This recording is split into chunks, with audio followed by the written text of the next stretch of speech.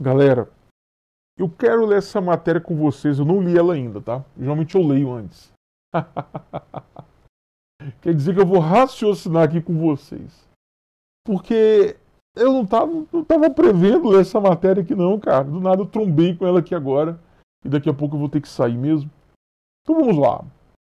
Governo de Honduras fecha cidade Bitcoin privada de Próspera.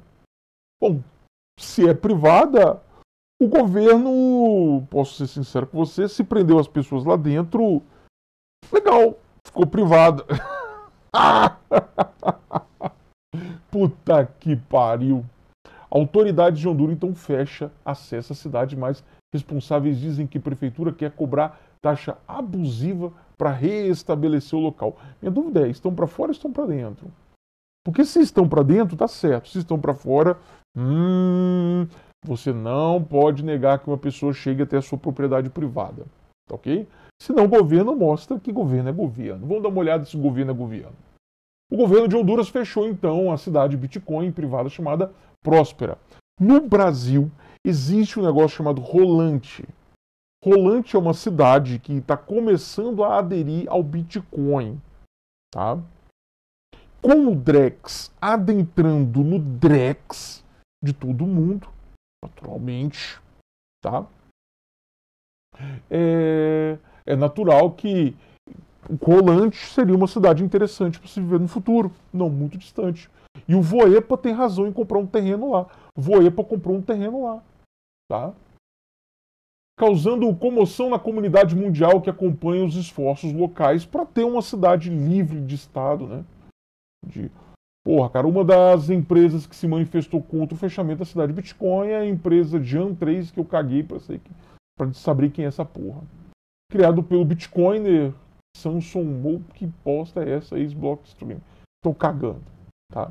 Mais um, porra, lógico, eu queria ver se fosse a Coca-Cola, porque sem Coca-Cola não tem país, porra. Sem Coca-Cola não tem cidade. Sem Coca-Cola não tem vida. em uma nota de alerta pública, a empresa declarou que está atenta ao cara. Próximo. Agradecemos a cobertura, né? Sobre os esforços para alcançar a empresa. Oh, somos defensores da empresa. Tá ok? Galera, tem que lembrar aí de, de, escamar esses caras aí e zoar eles, tá? Recentemente, o próprio alertou publicamente que os governos estão fechando o cerco contra um ecossistema de Bitcoin mundial.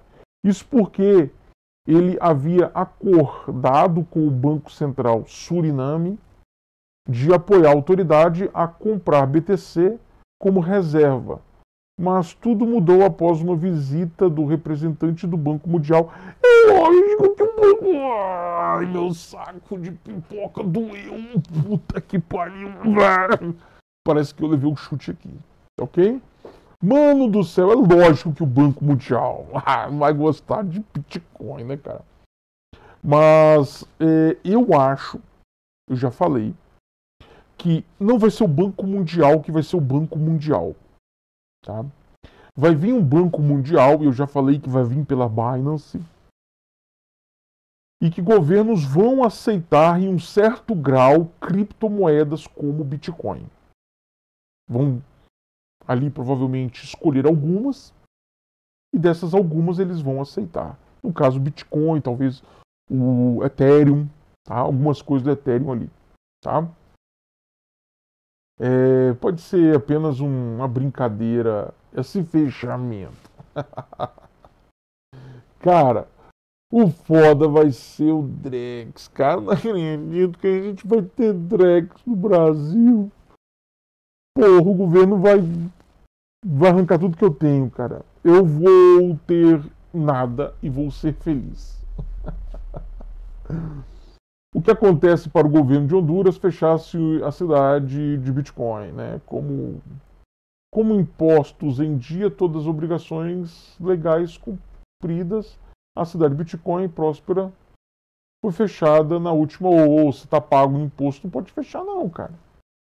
E eu entraria no Procon. Vai no Procon, porra. É.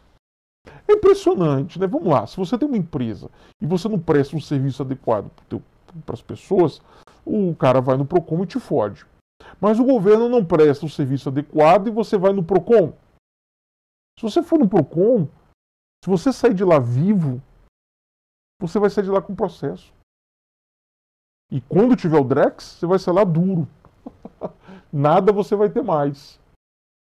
De acordo com nota, então, a própria gestão local, né, o governo de Honduras deu apoio à prefeitura de Rota... Ratanabá, vou ler Ratanabá, para fechar a força cidade privada. Né? Além disso, cobrar 480 mil dólares a cidade seja reaberta no futuro. Caralho! Isso aqui é tipo Xandão, mano. Não tem um Xandão? Existe uma ditadura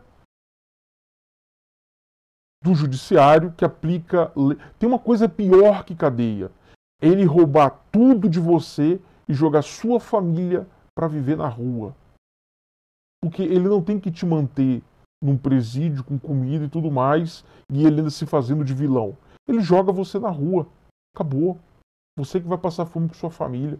Você nunca mais vai ter nada. Porque nesse país, me fala aí, se você perder metade do que tem, quantas décadas você vai gastar para recuperar o que você tem hoje? Agora imagine se ele tirar 100%. Emprego, salário, sua conta, sua casa, seus carros. Quanto tempo? Entendeu? Então aplica lei monstruosas mesmo, cara. Tá? Cara, isso aqui é um roubo, cara. É igual o Xandão tá fazendo. Tá roubando aqui os caras, mano. Caralho, mano. Fechou com a força o edifício de escritórios que funcionava legalmente, né, em Próspera. Uma empresa de no Texas que empregava 40 hondurenhos, policiais armados, fechava sempre. Quem acredita em polícia? Ai, polícia, exército, ai, servir e proteger. Servir e proteger, cara, aos ricos, nem rico, desculpa. Estou caindo no engodo político. Servir e proteger os políticos. Tá ok? Polícia é para isso, cara. Polícia não vem te defender. Ó, se você for na casa, na rua da casa de qualquer prefeito, tem umas 10 viaturas da polícia. Se você vir aqui no meu bairro, que é um dos mais perigosos da minha cidade, se não é o mais perigoso, ó, só num poço aqui acharam 40 corpos. É, foram. Poço tinha 40 metros. Acharam num poço de 40 metros aqui 14 corpos, cara. Enterrados em tempos diferentes. Tá? Um poço de mais ou menos uns 40 metros de profundidade. Fundo pra caralho. Os caras viram nisso um bom lugar para você fazer o quê? Um cemitério clandestino vertical. Tá? Foi o negócio foi sinistro, cara. Foi sinistro aqui. Ah, pra, ó, tá cagando, ó. Tá cagando. Ok? E aí jogava corpo, jogava terra. Jogava corpo, jogava terra. Jogava corpo, jogava terra. E aí foram, cara. Foda, né, cara? Triste, triste, triste. E aí, nota próspera, a cidade privada de Bitcoin alega que as medidas de assemelham-se àquelas tomadas por Nicolás Maduro na Venezuela, Xandão no Brasil e tudo mais, cara. Porque você quer o quê? Governo é governo, cara. Você quer, você quer um movimento anárquico, você quer é, ter sua criptomoeda, ter essa criptomoeda, ter tudo livre, liberado, faz uma colônia em Marte. Porque aqui nessa terra já era. Aí vai um monte de gente de Facebook ficar falando de próspera, próspera, próspera. Cara, o movimento criptoanarquista que deu origem a toda essa merda diz que a gente tem que viver nesse cenário atual que estamos vivendo, mas escondidos pela criptografia.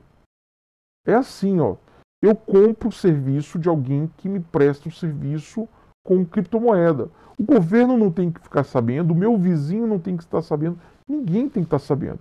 Eu e aquela pessoa que nós negociamos, que eu negociei, esse negócio ele se dá pelo anonimato da criptografia. Se você cria uma cidade anárquica dessa daqui, é lógico que vai dar errado. E vai sujar o movimento criptoanarquista.